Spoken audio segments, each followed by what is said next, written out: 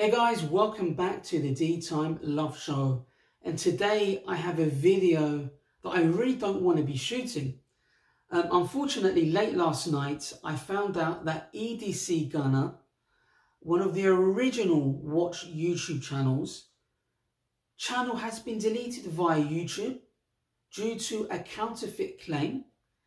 And I am absolutely disgusted and shocked this has happened because I know EDC Gunner very well and I'm happy to give him a character reference on this behalf. The mere fact is that EDC Gunner acts with integrity and honesty and I've been following him for over five years and he's one of the first YouTube channels that I subscribe to um, along the lines when I started following Archie Luxury and all the other big boys in the community and he has never promoted counterfeit or any fake products whatsoever.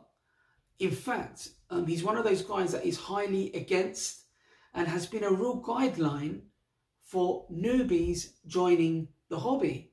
Um, he's not the biggest YouTuber by any means. However, um, he's a guy that's been around a long time. He's not your, he's not a narcissistical character. He's very humble. And if I've followed him throughout his journey on YouTube and I've seen how he's built his collection and how he's shown people rather than buy a counterfeit good, you can go and buy a respectable watch, for example, from the big manufacturing brands, from Seiko to Citizen to Orient. And he's, he's shown people a path how to get into their first luxury watch. You know, by going vintage, for example, getting into a brand that you never thought you can do EDC Gunner has always had the skill set of sourcing good value for money watches, but I've seen how his watch collection has grown and he's got a substantial watch collection from uh, JLC Reverso, Rolex, Rolex Submariner, and the, his collection has just grown over the years. So YouTube, if you're listening, believe me when I tell you there's been a mistake. I believe from following EDC Gunner over the last five years, he has never promoted any counterfeit or fake goods on his channel. So please reinvestigate his case because he's one of the good guys. I can't stress that more. He's one of the first guys that I've ever subscribed to on YouTube when it comes to watches. He provides everyday carry.